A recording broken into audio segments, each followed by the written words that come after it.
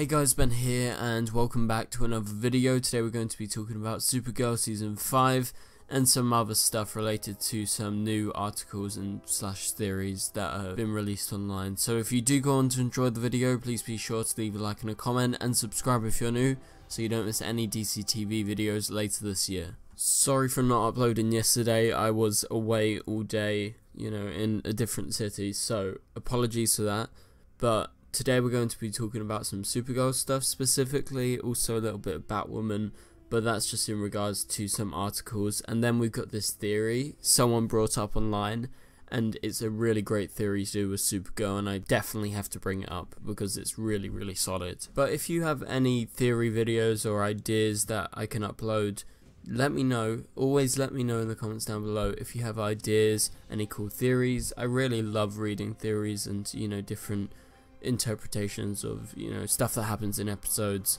you know whether it's last week the week before or anything like that just leave a comment. I'd really appreciate that.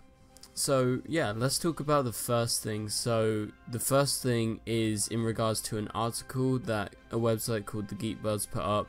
So the title is supergirl batwoman ratings soar no cancellation in sight so this is in response to all the, you know, fake articles that we got discovered. And I think there was one called Bounding into Comics. They were all releasing these fake articles being like, oh, Supergirl's gonna get cancelled, Batwoman's gonna get cancelled, Legends of Tomorrow's gonna get cancelled. Because they've all got essentially agendas against the shows, right? Because, you know, it's a female led show, you know, there's some political ideas and they are so against it that they are, you know, rooting behind the false narrative of oh these shows are going to get cancelled just because they want it to. But anyway so this is in response to that to those bullshit articles. And so I'm going to read through his article because it's very good and it proves a lot of the ideas that I've been talking about over the past few months when obviously all these different ideas oh the Superman show's coming oh Supergirl's going to get cancelled because there's a Superman show.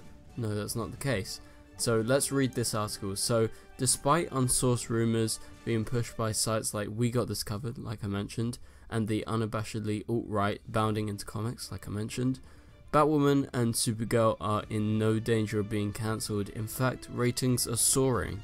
Last Sunday's overnight ratings found CW programming up across the board, with Batwoman registering 1.16 million viewers second best of all the CW shows. Supergirl was close up behind, up almost 10% in total audience viewers this past week. So yeah, Supergirl had a few drops and stuff like that, but we'll talk about that in a sec. So these aren't the kind of performances, it goes on to say, that get shows cancelled on the CW network. Shows that also enjoy significant Live Plus 3 and Live Plus 7 rating boosts. And so, just quickly talking about this before I go on to enhance further into this article.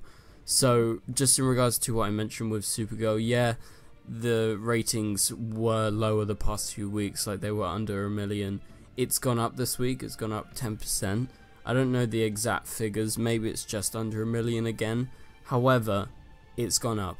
And the thing is, if you look at all the other CW shows, and I've said this many times before, it's still pretty damn high up. It's like, you know, second, third, fourth best performing TV show on the CW. And it, I think, reportedly last year, yeah, it had a few dips in the viewership. It was the most profitable TV show on the CW, I'm pretty sure, in terms of advertisements. So, yeah, no worries about Supergirl. Batwoman's doing very, very well right now. You know, registering over 1.16 million viewers last week and you know it's very very steady. So anyway continuing with the article certain fan sites are engaging in a subtle form of trolling by pushing the narrative that DC's female fronted shows aren't as popular on the network explains television writer Craig Belfer. It isn't as extreme as the Rotten Tomatoes and IMDb review bombing that alt-right does to movies and shows but the intended message is the same. Women should be kept in their place so, let's talk about this. This is obviously a big topic and a big, broader ranging subject of how these certain fan sites, and it is fan sites, it's not like official sites, and you get this on YouTube actually a lot with the Batwoman content. there is a lot of people online who are completely toxic. I don't normally use that word, but they are. That's the perfect word to describe them. They are just, you know, they've just got an agenda against that specific show, but also a lot of people have it against Supergirl. Like it says, because it's this female-fronted shows, they try and push this narrative that oh they're gonna get cancelled or something like that because they're not as popular. When in actual fact, like it said, Batwoman was the second best ratings of all the CW shows recently, and Supergirl, like I said, to do with adverts, made them the most money last year. So, that's false. This is them pushing their agenda, and I completely agree with this article. Obviously, you guys may have differing opinions, but I'm, it's pretty damn obvious that they are pushing a false narrative where they are trying to, you know, essentially bomb the show or like give it a reputation that it doesn't actually have.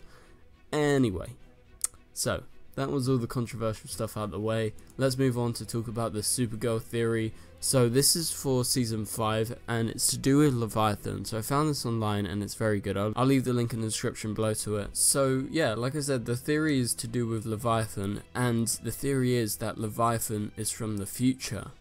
So Brainy made several references to technology and this is how the post goes that shouldn't be invented yet. For instance, Q-Waves which has been playing a big role in Obsidian North Tech, such as the VR lenses, and so there's a photo on the screen right here that you can see to do with you know the advancements and you know Brainy said you know this technology shouldn't be created yet, right? So continuing on from that, we already know Andrea works for Leviathan because you know we got that big revelation last episode and then the episode before when she's been working with Leviathan. Obviously, she's not completely working for them, she's been forced to work for them, and they play a role in the success of her company, which obviously links Leviathan to Obsidian North. You have to remember that. But also, the medallion, which Andrea found, has a very similar pattern and it translates to Leviathan. So it's all linked, and all this technology can be linked to Obsidian North and Leviathan as well. So Winn is returning later in the season, and what are the odds that his return has something to do with that, and the idea that Leviathan or a few members of Leviathan are from the future, and that's maybe what the Legion are doing at the moment. Say they've defeated Brainiac, this is why Winn comes back, or something like that. I think that would be really interesting, but I think the big picture here, what I'm trying to get at, is that everything seems to point towards this theory being correct that yeah, maybe Leviathan is from the future. And, you know, they keep on popping up everywhere, like, just completely out of nowhere. Very, very futuristic, like they're teleporting or something like that. Also, the link to Leviathan and how they were able to change, you know, what was going to happen to her father, to Andrea's father. The fact that, you know, they were able to make Obsidian successful again and everything like that. That's just not a fluke. So it all really links back to Leviathan, and I think the idea with the medallion saying Leviathan is going to be very meaningful in that you know, this thing is ancient, right? Why would it say Leviathan? Maybe, yeah, this is like the medallion that they worship, and, you know, maybe it's something like that. However, it says Leviathan, and this thing is linked to Andrea, it's linked to everything, and the fact that Q Waves is here in the past, in the present, obviously our present, is massive because Brainy has made several references to how this technology is very futuristic and in his timeline it's not created till later, so maybe it's from a different timeline, maybe it's from the future, brought back by members of Leviathan. And so, yeah, Obsidian is using all this futuristic tech that shouldn't be made, so that links to the idea that maybe there is time travelers. Also, like I said, the medallion, but you know how they changed the odds of you know the success of her company and how everything just went up. Like that could be some time travel stuff that they've changed. Very interesting theory. Go check it out. It'll be in the description below. What do, you, what do you guys think about all of this? What do you think about that article that I mentioned earlier to do with Supergirl and Batwoman? But anyway guys, thank you guys so much for watching this video. Please be sure to subscribe if you're new. We're really close to 100,000 subscribers. We are 400 subs away.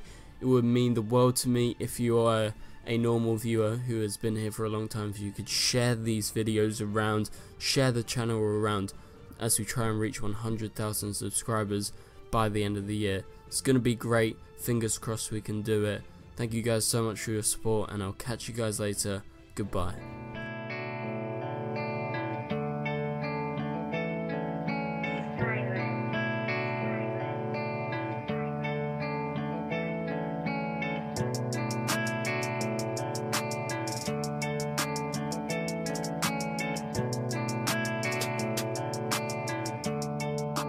Icy Road.